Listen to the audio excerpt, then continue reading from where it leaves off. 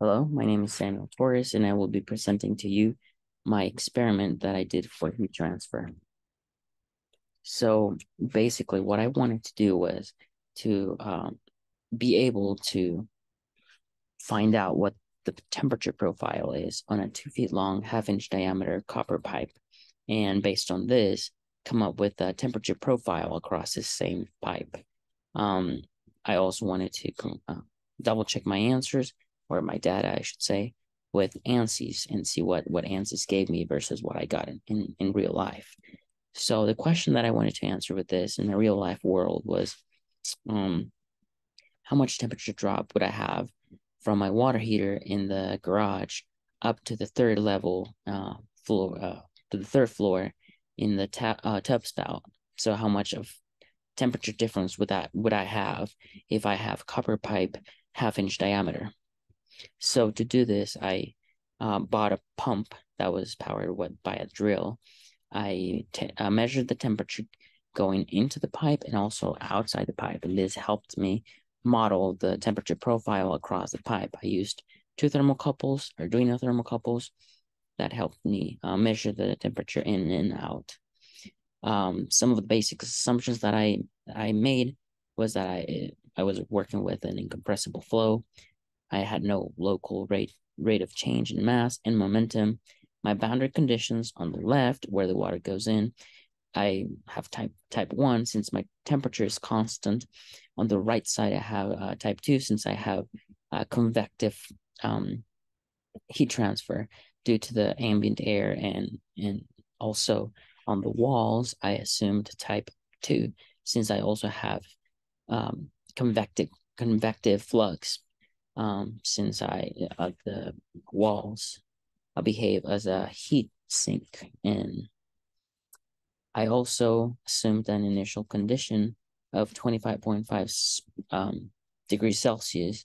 I'm assuming I was I'm assuming that the temperature air at the time that I was performing the experiment was at 25.5 degrees Celsius. Now my one of the main equations that I used for this is uh, I'm assuming that there's conservation of mass, which there is, conservation of momentum, which it's the velocity of the water, and conservation of thermal energy, which is um, basically means that the temperature going in has to be the same as the temperature going out to out of the system. And now putting all of those together, we set them equal to zero so that our um, conservation of energy can be true. Um, so after performing the um, experiment. We did three. I did three trials.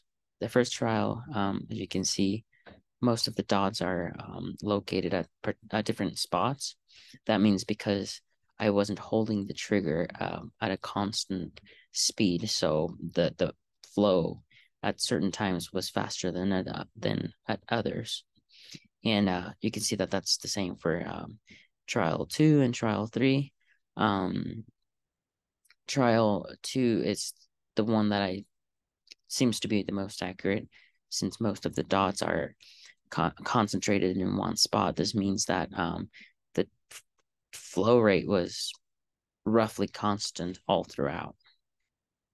Now, if we take a look at our graphs of uh, water, water, the temperature of the water going in and the temperature of the water going out, we can see that there's there's a, a, a change in temperature, there's some some heat that's being um, lost uh, across those two feet of, uh, of pipe.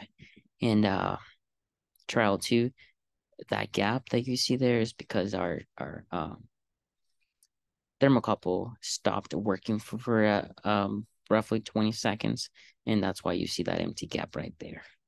Um, and so I uh, modeled this in ANSYS. The uh, top left uh, figure, figure seven, it's our flux profile across the pipe. You can see water going in heats up the copper more than at the at the outlet. And then figure eight, that's just the uh, temperature profile on the inlet of the water of the, of the pipe. Um, this I, it's not quite accurate. I need to go back and figure out why this is wrong but it's supposed to be blue at the edges since we're assuming no slip boundary conditions, and it's supposed to be hotter at the center. But that can be solved by suggesting some of the um, settings in ANSYS. Figure nine, that's our velocity profile uh, across the, the pipe. There's not much to see since you can't really see the velocity from outside the pipe. But if you look at figure 10, that you can see that the velocity is greatest at the center. Now, I plotted my uh, temperature drop, and it seems to be roughly around 30.75 degrees Celsius. Um, that's based on the average temperatures that I got from uh, the three um, trials.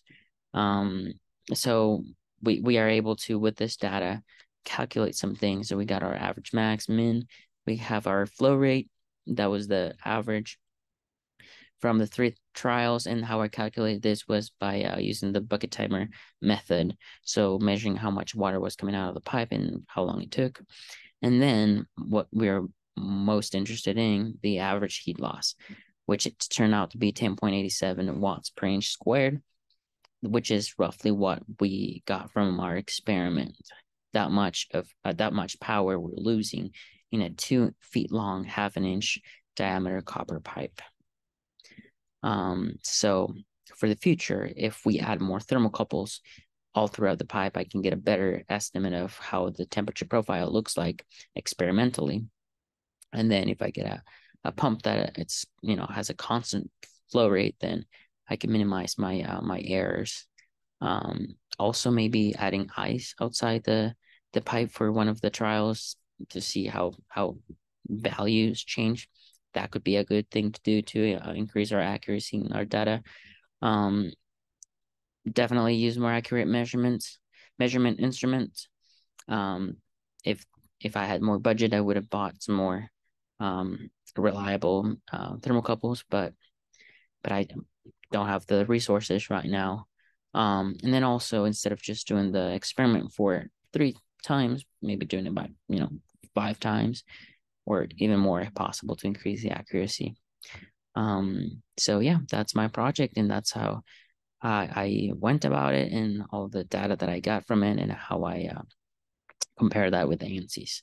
Well, thank you so much for listening, and I hope you have um, great winter break. And that is it.